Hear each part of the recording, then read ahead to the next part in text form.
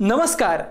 जिल्ह्याचा number one news channel Balaji न्यूजमध्ये आपलं स्वागत. मी निलेश निकम. जिल्ह्यात कुठे काय घडतंय याचा सडेतोड आणि पारदर्शक आढावा आपण या बुलेटिनमध्ये घेणार आहोत. बुलेटिनची सुरुवात करूयात हेडलाईन्सनी सांगली जिल्ह्यातील खासदारकी आमदारकी ही काँग्रेस मुक्त केली आहे. आता जिल्हा परिषद आणि नगरपालिका काँग्रेस मुक्त करा. भाजपचे सहकार मंत्री सुभाष देशमुख यांचं आवाहन.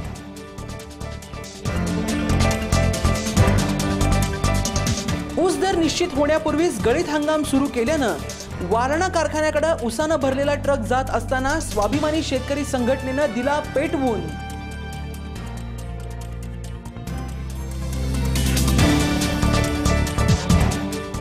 पुण्यात तळेगाव चाकण रस्त्यावरती खराब वाडीमध्ये भीषण आग आगीमध्ये होरपळून पाच जणांचा मृत्यू.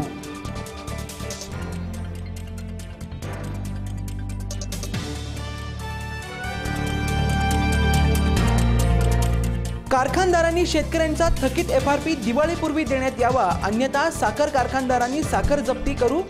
सहकार मंत्री सुभाष देशमुख यांचा इशारा.